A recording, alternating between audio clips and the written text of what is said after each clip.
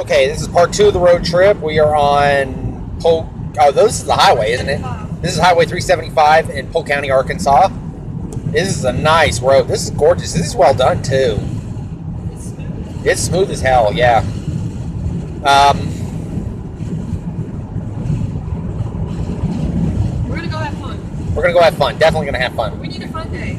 Definitely need a fun day. After everything I've been through, it's just kind of been hell. So I figured, why not just get out and just kind of refresh and recharge the batteries a little bit. Yes, heartbreak sucks. yeah, this is New Part, Arkansas. Um, there's the railroad crossing.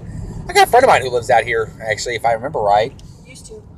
Yeah, I know you used to. Oh yeah. Oh, you got another friend that lives out. No, he lives in Dallas. I forgot. I, I get Potter and Dallas confused for some stupid reason. Dallas is out toward the airport. Yeah. I thought that was board camp. No, no, no, no, no, no, no, no, no, no, no. Um, I think you keep going a little ways and you turn. Oh, yeah. oh, okay. Yeah, yeah, yeah. Okay, Dallas is out that way. Yeah, Dallas is out towards. Uh, Dallas is out towards. Um, Like going toward Mount Fork out that way. Or I like think out so. that road out that way. yeah, I think so.